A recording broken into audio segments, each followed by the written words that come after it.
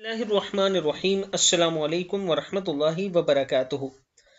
عابد راجی channel کی طرف سے آج میں اپنے دوستوں کو رسول اللہ صلی اللہ علیہ وآلہ وسلم کا ایک فرمان بتاؤں گا کہ پریشانی کیسے ختم ہوگی، وہ کون سی دعا ہے جو آپ پڑھیں گے تو آپ کی پریشانی ختم ہو سکتی ہے۔ حضرت ابو حریرہ رضی اللہ تعالیٰ عنہ فرماتے ہیں کہ ایک روز میں رسول اللہ صلی اللہ علیہ وآلہ وسلم کے ساتھ باہر نکلا۔ اس طرح کہ میرا ہاتھ آپ صلی اللہ علیہ وآلہ وسلم کے ہاتھ میں تھا۔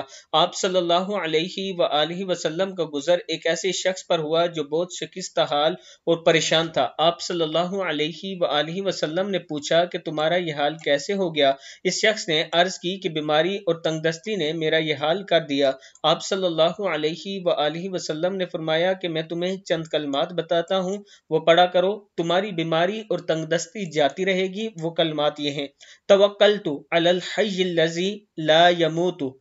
الحمد لله الذي لم يتخذ ولدا ولم يكن له شريك في الملك ولم يكن له ولي من الذل وكبره تكبيرا اس کے کچھ عرصے کے بعد آپ صلی اللہ علیہ وآلہ وسلم اس طرف تشریف لے گئے تو اس کو اچھے حال میں پایا۔ آپ صلی اللہ علیہ وآلہ وسلم نے خوشحالی کا اظہار فرمایا۔ اس نے عرض کی کہ جب سے آپ نے مجھے یہ کلمات بتائے تھے، میں پابندی سے ان کلمات کو پڑھتا ہوں۔